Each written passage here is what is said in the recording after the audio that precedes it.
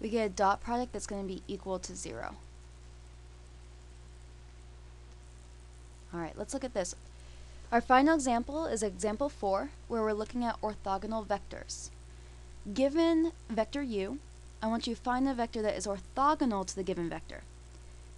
Just so you know, there are multiple possible answers here. If you want to, try this one on your own first. I know I'm not giving you much direction. If you're confused, resume the video, look through the answer for A, and then you can try part B on your own.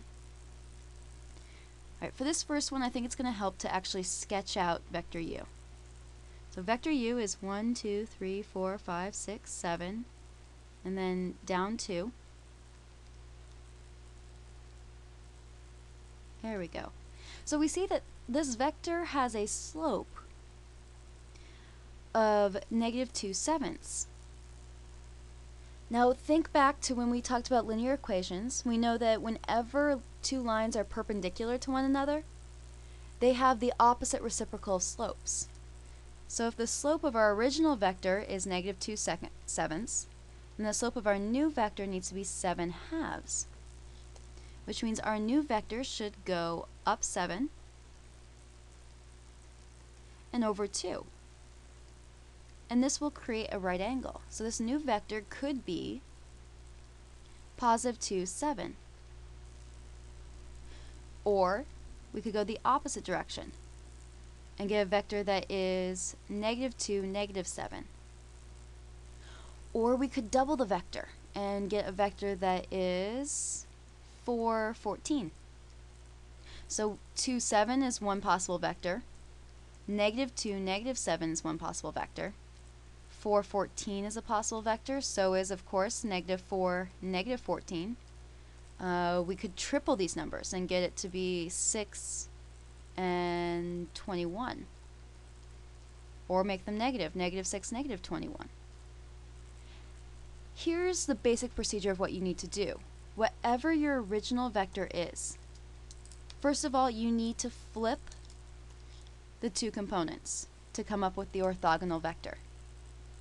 So the 2 and 7 need to switch spots. Then you need to change the sign on one of them. Flipping them is what gives you a reciprocal, and changing the sign is what makes it the opposite reciprocal. I don't care if you change it so that they're both positive or both negative, but you need to change the sign on one of the numbers.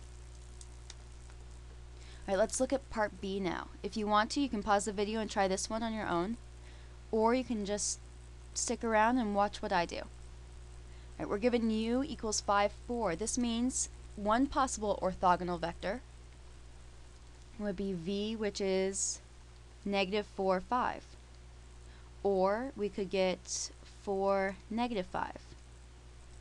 Or we could do negative 8, 10, 8, negative 10. We could divide it in half. We could do negative 2, 2.5. Or 2, negative 2.5. The point of this is, if I was to draw out the vector u,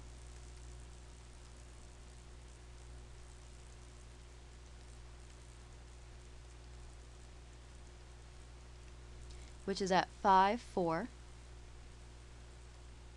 And then draw a vector v, which I set at negative 4, 5.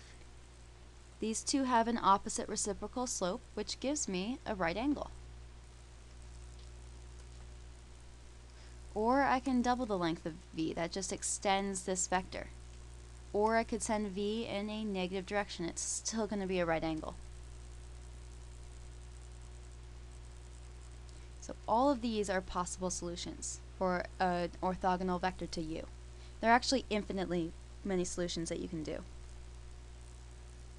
And that concludes your notes for 8.6 and actually concludes the notes for chapter 8.